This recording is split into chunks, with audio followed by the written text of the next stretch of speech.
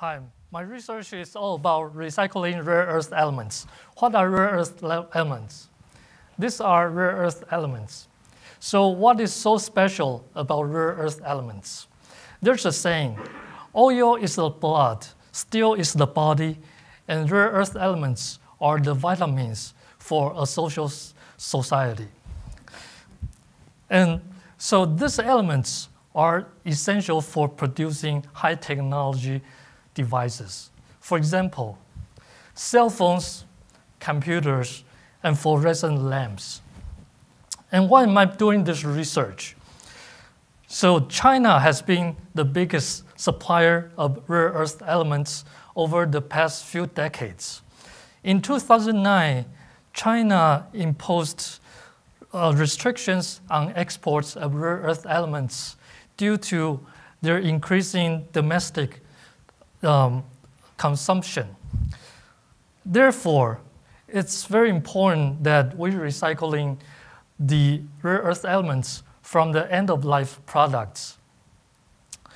And fluorescence lamps are the most accessible resource of rare earth elements in our daily life.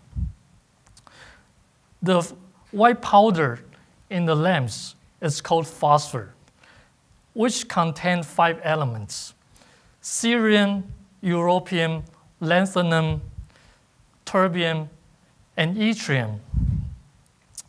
And how do I extract them from the rare earth, from the phosphors? Okay, so we use supercritical CO2.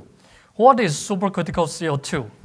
Every substance has three phases, solid, liquid, and gas. So, so does CO2. When CO2 is pressurized and heated beyond its critical point, which is 73 atmosphere and uh, 31 degrees Celsius, then it will become a supercritical CO2, which has properties between those of a gas and a liquid. It can penetrate solids like a gas and dissolve materials like a liquid.